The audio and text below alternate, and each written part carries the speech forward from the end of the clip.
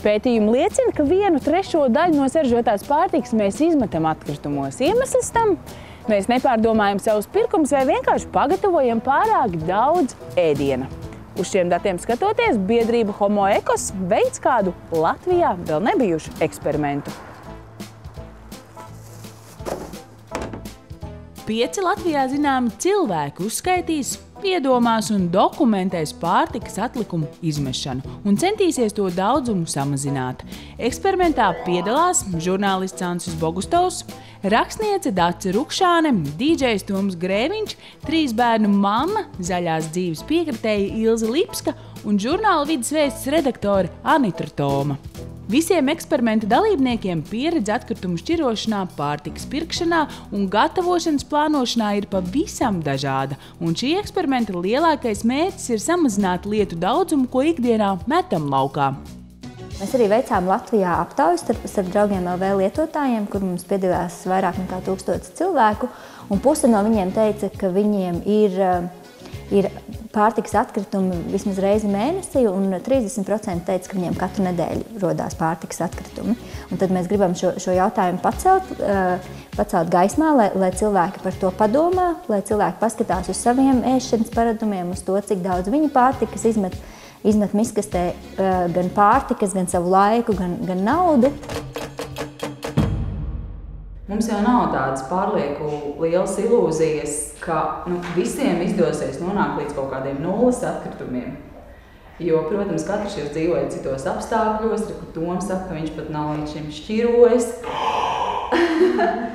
Jā, lūk, ar šādu reakciju. Tom, mēs ar tevi sēžam pie viena galda. Katru gadu es mēģinu vienreiz piedalīties kaut kādā sociālā, sociālā pasākumā, un man ļoti, ļoti pierunāja piedalīties šeit. Jo man atkritumu šķirošana nešķiet problēma Latvijā. Galvenokārt domājot par uh, to, cik daudz cilvēku mēs esam, domājot arī par infrastruktūru, kāda ir tīpaši dzīvojot pilsētā un izmetot atkritumus. Pastīsimies, kāds būs rezultāts, jo, ja godīgi, es neesmu pievērsis šim uh, ļoti lielu uzmanību līdz šim. Lai pārtikas produkti un to atlikumi nebūtu jāmet laukā, Dacē Rukšānai ir savs veids, kā no tiem atbrīvoties. Un iespējams, ja arī tu tā labi padomātu, tev arī būtu kāds, kurš ar gardu muti tos apēstu.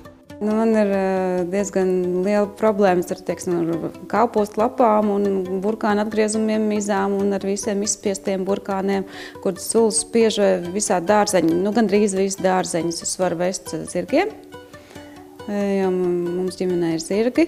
Un tad piena produkti atkal vai vēl kaut kādi dažādi atkritumi iet, var aiziet suņiem. Nu, cik nu viņi ir atkritumi, viņi ir tādas lietas, ko es nedodu suņiem vecu gaļu, piemēram, bet man arī gaļa nekad nepaliek veca.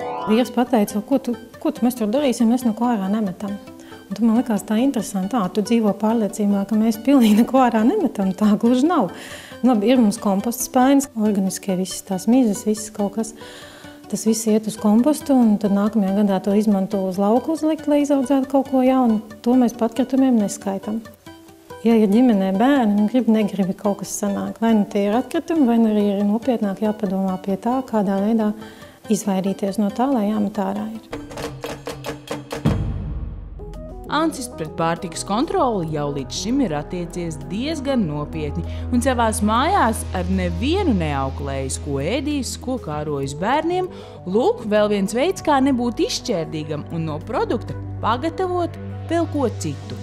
Šurbraucot, es beigtu domāt par to, es vispār esmu nekad kretīns. Jo saprotu, šodien arī es, nu, man tagad ir piens saskābs. Man nav variantu, es nepiedāvāju nevienam brokastīs kaut ko citu kā vien es no to rupšpienu uztaisu piespienu, un mums ir piespienu pankūks, nav apspriežams. Nevis, ko tu ēdīsi šodien brokstīs, šodien ir piespienu pankūks, tāpēc, ka mums bija tas piespiens. Un tā ir viena jau galējība, es domāju. Un vēl es domāju par to, ko tu saki, ka nu, tur visas mammas, vecmāmiņas, visas, kas tur sataisa visu kaut ko lieku. Un tad es to skatos tā, nu, nepārāk talantīgi, jo es neesmu talantīgs, tas, nu, virtuvē, kā sauc, pavārs. Bet Es skatos to tā, ko no šīm sastāvdaļām, lai viņas neaiziet bojā, var izpētīt, nu, uztaisīt. Un tas trakums ir, ka tu jau vairs neēdi to, ko tu gribi. Lai neizmestu pārtiks produktus, pastāv vēl kāda iespēja, kas tos varētu pārstrādāt. un tad gan tavā dārziņā, gan puķu podā viss augtu griezdamies. Eksperimentu dalībnieku pulciņā slieku audzētājs. Ir ļoti labs variants, kā jau jūs teicāt par to pašu kompostu kaudzi, kompostu kaudzē līdz liekas iekšā. Viņas tur neaizies projām, zem? Neaizies projām. Jā. Ja, ja viņām būs ko ēst, tad projām viņas neies. Un sliekas arī viens no veidiem, vispār kādā veidā var eh, atbrīvoties no liekiem pārtiks atkritumiem. Jo slieki ir tas dzīvnieks, vai, vai kā lai viņu nosauc, kurš apēd visu, izņemot metālu, laikam uz tīklos neapēd. Teorētiski ir tā, ka slieka apēd dienā tik daudz, cik viņas var. Dalībnieki ir diskutējuši par saviem ikdienas ieradumiem, to, kā tagad būs iespējams sevi jālauž un nu gatavi mesties izaicinājumā, kas skars arī viņu ģimenes locekļus. Liels problēmas ar to pašu sašķirošanu nebūs, jo mēs kādreiz esam to darījuši, iepriekšējā dzīves vietā arī šķirojuši. Un, un tur kā bija tāda lielāka iespēja, jo tur tos konteinerus bija, tie bija atsevišķi konteineri dažādām lietām. Un, Un otrs, es domāju, ka uz kaut kādu brīdi es viņam teikšu, lai viņi vienkārši nemet miskastē, lai viņi atstāja pie izlietnes, un es pats sametīšu. Pētījumi liecina, ja mēs turpināsim tik izšķērdīgi dzīvot kā līdz šim, laikā, kad mūsu bērni būs vecāki, pasaulē jau būs izbeigušies dabas resursi, kurus šobrīd mēs smeļam. Man liekas, tas nav tā vienkārši, ah, nu ko, man ir daudz naudas, es izmetu ārā.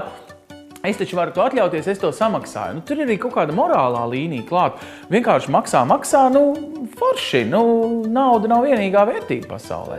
Šobrīd jau nekur mēs, eh, ja mēs dzīvojam daudz dzīvokļu mājā, mums īsti nav iespējas eh, neko liederīgu ar viņiem darīt, un mums viņi ir jāmet pie sadzīves atkritumiem.